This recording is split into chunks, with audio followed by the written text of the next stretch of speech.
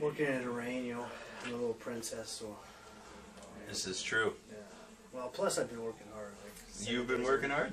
Well, Every single video because I see. because I'm I'm the one who like makes sure that production level is high. Oh. If I'm not there, talking to them and telling them how to do things, and, and you gotta understand, like these are my, I kind of like you know, I, I gotta give true. them, you know, You're their mentor. well, I got they, they need to grow. If I have to do everything, Ah, yeah. Okay. you know, so I let like in that I just supervise. I make sure production level is as, as high. Nobody's just standing there doing nothing. You know, That's why I'm there.